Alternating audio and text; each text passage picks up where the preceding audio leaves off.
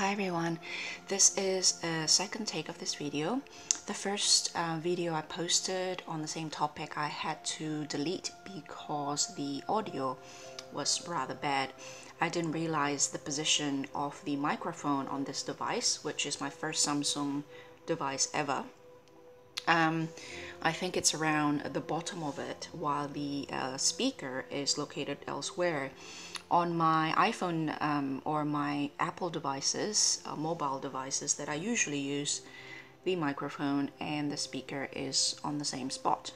So anyway, I posted a brief uh, minute or less than a minute I think video on my Instagram account about my current developing thoughts around the suit of coins with the court cards from the Margarete Petersen Tarot. Uh, the Court of Coins, or as I would call it, uh, the Court of Earth. I try to um, look at each of the suits away from the naming of each suit coins, feathers, flames, and cups, and bring it down to their basic um, element for each suit. So I call this the Court of Earth, the Court of Air, the court of fire and the court of water just to simplify uh, my thought processes as well as our discussion because or when I share my thoughts upon reflecting on them and just dialoguing with all of you because there's so many layers of stuff to um, work around with this particular deck. So I thought simplifying say coins to earth is uh, will ensure that all of us know what we're talking about because sometimes people call it coins, some pentacles, some discs, and others would be stones, yet others would be crystals, and a variety of other things. So by saying um, quartz of earth and quart of air, I hope to bring down the um, concepts to its most basic, commonly agreed uh, elements for each of the suits. So in this case, it's Mother of Coin, father of coins, daughter of coins, and son of coins, and so the suit of earth. And my take on this, um, initially, like all of these ones, I usually get a glimpse of what the story is about from mother and father.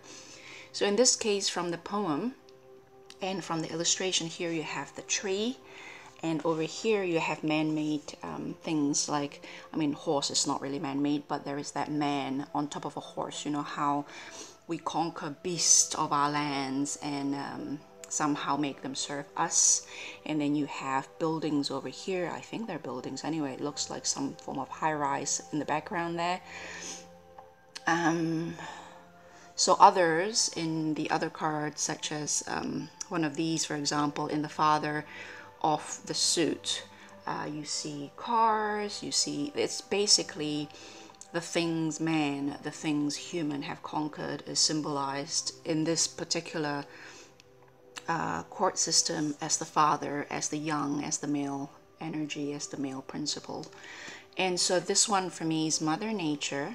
This is Father Civilization. This is Daughter of Consciousness between the Creator and the Createe, or the Creator and the Created whether it's in relation to ourselves and the things we create or in relation to ourselves and nature that we are created from or that we are created as a part of. And then here is son of awareness of our source and the return attempt to be in line and to be in sync back with our source that is Mother Earth. And then the cycle I tend to see these court cards in the Margarete Petersen Tarot like that. Uh, the stages goes like that and then it goes like that. In a way, I suppose all linear stages in life are actually circular anyway, but that's a whole other um, chat for a separate time, for a separate video. And so let me share with you really quickly the poetries in the handbook which triggers, uh, which trigger the main concepts for me and which led me to my current thinking around the suit of coins or around the court of earth of the Margarete Petersen tarot deck. So Mother of Coins says this, Mother of Earth I am. My being is defined by growth and decay. My body and my vision are wide awake and present. Life has painted me with fine strokes and woven me into trees, flowers, fruits, plants, animals, and the earth and the earth's organism which brought us all into being. I am the provider of nourishment. I add flesh to bone. When the moon changes, my body responds with red lines. I dwell in the feet, legs, pelvis, belly, organs, etc., etc. And then the father of coins says this. I think I've read this out in one of my videos uh, discussing the court cards from this deck. I feel a strong attraction to the woman who brought me into this world. Part of me wanted to remain with her, but the laws of evolution required different measures. My mind has tried to understand this unquenchable longing. I tamed my desires and my body, fueled by the feeling of separation, I restrained what are called animalistic drivers, drives and instincts. Out of this feeling of sorrow and being deeply wounded, I created mighty buildings. I build cathedrals and scraped the skies. I cultivate the land, build gardens and terraces, and harvest the crops to secure our food supply. I discover unknown continents and dig up the earth for treasure. I hoard and I distribute, and when I when greed overcomes me, I kill. Forgetting my origins and my roots, I turn vicious. Remembering my connectedness, I use my abilities to serve my community. The woman I call my companion lifted the veil of my delusion. And so, again, for me, this is Mother Earth, this is Father Civilization, from what you just heard. And also from you know the picture, as I said, there's that man or human conquering the world to serve ourselves or our need or our survival or whatever it is. And then in the process of trying to prompt our own survival, as part of this earth, we forget that we are part of that earth. That's how I see that anyway for now. And then we have the daughter of coins over here, where you can see a figure standing within that um, structure here, but slowly things seems to be flowing out of that structure. There is that here like a multifaceted stone that looks like a gem or a diamond. And uh, as I've mentioned before in my Instagram short video, I see this as that awareness between us, the creator and the created, and the things we create, and that ultimately the civilization that we surround ourselves with, the creation that we surround ourselves with, sometimes made us think that we are the creator and we forget that we are also the created. And during moments of natural disasters, such as earthquakes, flood, tsunami, um, volcano eruptions, which I've experienced when I was younger, um, all sorts of things like that. I grew up in Indonesia. It is the uh, fire belt, I think they call it all, volcanic belt. And of course, where I am now, we sit right on yet another volcanic um, rose. So we have a lot of earthquakes where I am. And uh, of course, nobody can forget the tsunami and, of course, the earthquake Christchurch. Um, in one instance, um, it shook so bad I was on the fifth floor that everything around my apartment at the time fell. And the feeling of unsettledness of every time there's a little shake after that, my heart would race and I would palpitate. And I can't imagine how people in Christchurch and anywhere else with much larger disastrous earthquakes cope really because it was rel- relatively huge for where I am um, but compared to the kind of earthquakes that has been experienced all over the world that was um, relatively on the minor side and yet it was I, I was shaken by that experience. It's not that I do not remember that we are but a humble, small, tiny part of the vast universe that we have absolutely no control over that we are not the boss of our own life. We are we are but you know in this in this universal scheme of things as uh, the the things that insurance companies would qualify as quote unquote the act of god whether you believe in god or not it, that expression in itself that phrase in itself uh, typify or um, came out of this understanding of the larger things beyond our control, beyond our understanding that sometimes just happened and annihilate a whole life, a whole town, a whole way of being. Within an instant, everything is gone and something new emerge and you have absolutely no choice in the matter. And I think in places or in countries where I've lived in what another country where everything is human made because uh, in terms of nature there wasn't much there to begin with so the country was built on things that are created and shaped by the human mind by the human hands uh, human civilization and that particular country that i lived in another country not the country of my birth hardly ever experience any act of god i don't recall any flooding i don't recall any um, volcanic eruption. I don't really recall any earthquake while I was living there. The worst that happened in that country when I was living there for a few years was some fogging and haze, which uh, came from neighboring countries who had either forest fire or some such incidents.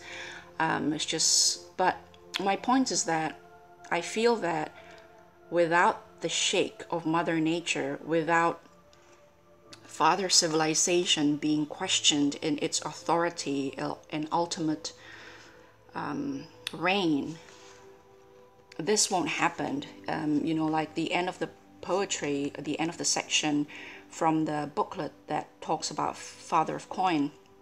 Um, you know, Mother, Mother Earth, you know, take down that illusion, that delusion of before my eyes. It lifted the veil up, and we suddenly realize we are the created as, as much as we are the creator. I see that as a symbol of our creation. The stone coming from the earth does not look like that.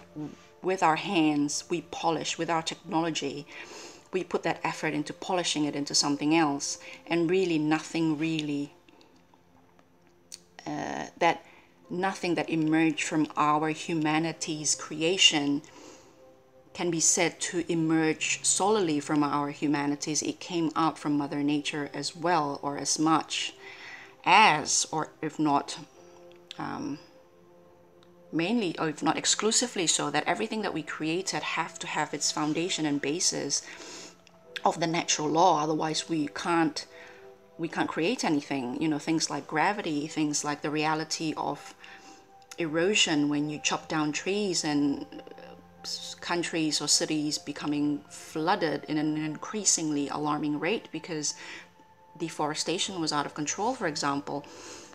And so, you know, that, that at the end of that poem was very poignant when, um, let me read that out to you again, um, when it says that Mother reminds, um, let me just give me a minute.